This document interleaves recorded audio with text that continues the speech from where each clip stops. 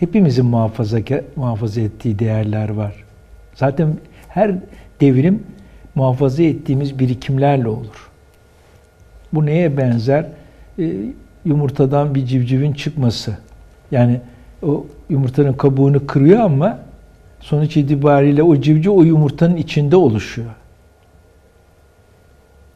E, Türkiye'de devrimini neyle yap- yapar? Biriktirdikleriyle yapar. Bir, bir anlamda muhafaza ettikleri yapar. Yoksa devrim dışarıdan ithal edilmez. E, fakat tabii muhafazakarlık ve devrimcilik birbirinin karşıtı olarak kavramlar. Yani ben Sayın Cumhurbaşkanı'nın neyi anlatmak istediğini e, anlamaya çalışıyorum ve anlıyorum da. Ama bu ifade e, kendi tabi tercihidir ama bu ifade e, iki zıt kavramı e, birlikte kullanıyor. Çünkü Türkiye devrimci çözümlere gidiyor. Şimdi yükselen diğer devrimcilik.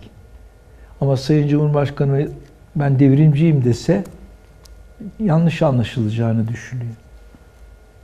Yani çünkü onun bir muhafazakar kimliği de var. O kimliğimden vazgeçmeden Türkiye'de diyelim köklü değişiklikler yapacağız e, demek istediğini anlıyorum ben. Yani saygı da duyuyorum buna ve ama bu ifade şu bakımdan önemli. Yani Türkiye demek ki devrime gidiyor.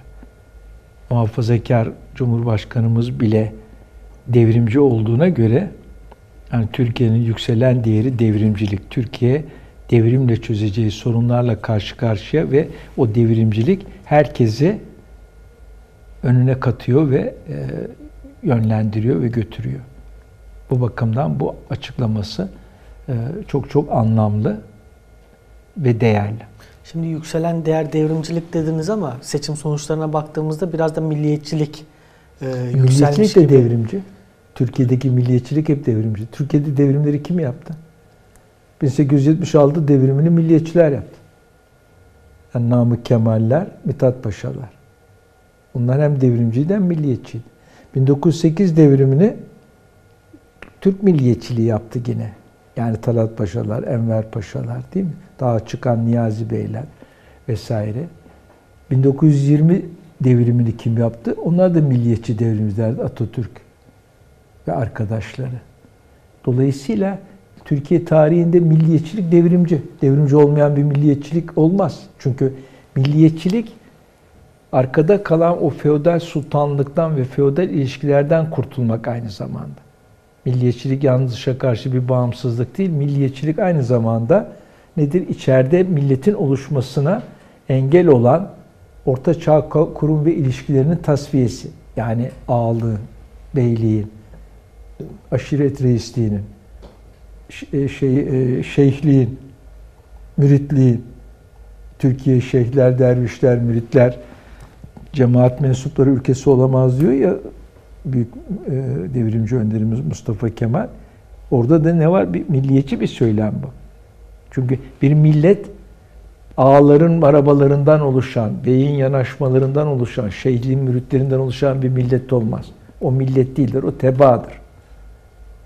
Millet nedir? Özgür insanlardan olacak. Ağalıktan kurtulacak, aşiret reisliğinden kurtulacak, beylikten kurtulacak.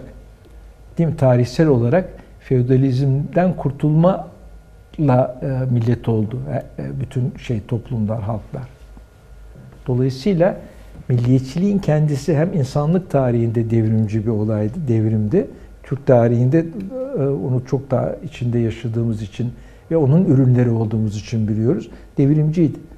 Ama Amerika'nın kontrolünde işte İkinci Dünya Savaşı yıllarında Nazilerin Alman emperyalistlerinin kontrolünde Türkiye'de bir sahte milliyetçilik çıkmıştı. Onun devrimcilikle ilgisi yoktu. Emperyalizmin güdümündeki bir milliyetçilikti. Ona da milliyetçilik denmez zaten. Yani emperyalizmle beraber milliyetçilik olmaz. Ama bugün öyle akımlar var gibi NATO ile işbirliğini savunan İyi Parti gibi NATO, milliyetçi. NATO Türkçü onlar. Atatürkçü veya Atatürkçü değil, NATO Türkçü. Türkçülük başka, NATO Türkçülük başka. Türkçü olan NATO, NATO Türkçü nedir? Türk milletin egemenliği. Türk milletin üstünde bir e, otorite tanımamaktır Türkçülük. Sen Türkçülüğü Amerika'ya bağımlı hale getirirsen o zaman ne oluyor? Getir kardeşim bir şey olmaz abi. Getir herkes görsün. çay içmek ayıp bir şey değil. Buyur getir ha. Buraya koy. şey teşekkür ediyorum. Sağ ol kardeşim. Ee, Türkçülük e, Türk milletinin üstünde bir başka bir e, kurumun egemenliği ne sultanın Türk milletinin üstünde bir kurum olmasını kabul eder Türk milliyetçiliği ne de başka emperyalist yabancı bir devletin.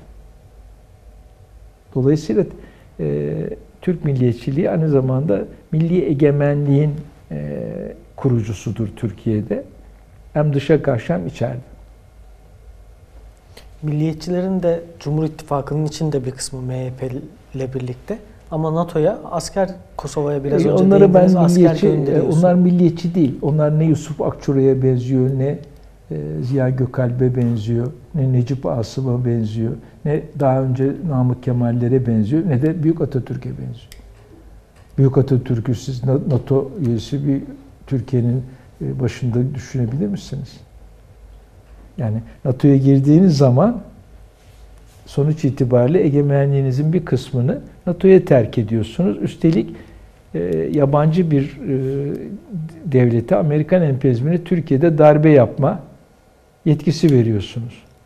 Şimdi mesela Sayın Cumhurbaşkanımız darbelere falan filan karşı e, bir söylemi var. E, darbeleri kim yaptı? NATO yaptı. 1971 darbesini NATO yaptı. 1980 darbesinde NATO yaptı. 15-16 Temmuz darbesinde NATO yaptı ve bozguna uğratıldı. E şimdi siz NATO'ya asker vererek nasıl darbelere karşı olacaksınız? NATO'yu kabul ederek, NATO'nun Türkiye devleti içinde örgütlenmesini, 15-16 Temmuz'da o hangarlardan çıkan tanklar, ondan sonra bir takım bazı hava alanlarından havalanan uçaklar kimin uçağıydı? NATO'nun uçağıydı. NATO'nun tanklarıydı. Türk Silahlı Kuvvetleri onları ezdi. Türk Silahlı Kuvvetleri kendi içine NATO'cu iktidarlar tarafından yerleştirilmiş olan ondan sonra FETÖ e, gladyosunu Türk Silahlı Kuvvetleri ve Türk milleti ezdi. NATO'cu olarak sen 15-16 Temmuz darbesine karşı olamazsın. Yani hem 15-16 Temmuz darbesine karşıyız. İşte e, 15-16 Temmuz adını veriyoruz meydanlara vesaire. Anıyoruz. Şehit 15-16 Temmuz şehitleri diyoruz. Ama Kosova'ya da NATO'ya asker yolluyoruz. Bu nasıl bir vatanseverlik, bu nasıl bir milliyetçilik, bu nasıl bir devlet egemenliği ve bağımsızlığı. NATO demişken 12 Haziran'da da zirve kararı aldılar İsveç, e, NATO ve Türkiye. Yani bu Bir hafta daha kalmış. önce e, olmayacak deniliyordu ya da engellemişlerdi Finlandiya gibi. Bakın şimdi Buradaki tavrı nasıl Şimdi değerlendiriyorsunuz? bakın Mehmet Şimşek'i ekonominin başına getirip uluslararası normlara bağlandığınız zaman uluslararası normlar yalnız ekonomide değil. Uluslararası normlar siyasette ve güvenlikte de söz konusu. O zaman e, Mehmet Şimşek ekonomide e, sizi ekonomik bakımdan dünya küresel efendilere bağlar. NATO'ya asker verdiğiniz e, zaman da o e, güvenlik alanında ve siyasette e, küresel efendilere e, bağlılığınızı güçlendirmiş olursunuz. Yani NATO'ya şimdi girmiyor Türkiye ama bağımsız Türkiye'yi kuranlar NATO'dan tabii çıkacaklar. NATO'dan çıkmadan Türkiye bağımsız olmaz. Darbelere karşı olmak da NATO'dan çıkmayı gerektiriyor. Biraz evvel konuştuk. NATO'nun içinde ama darbelere karşı. İşte sivil anayasa gibi bir şey yine bu. Veya da muhafazakar devrimcilik gibi. Hem muhafaza ediyorsun hem devrim yapıyorsun. Yani ka- kavramların seçiminde ki yanlışlar içerikteki bir takım e, bocalamaların ve tutarsızlıkların sonucudur. Sırf e, bilgisizlikten yanlış kavramlar seçilmez. Aynı zamanda e, zikzaklar ve bocalamalar, tedirginlikler, korkular sizi yanlış kavramları götürür teslim eder.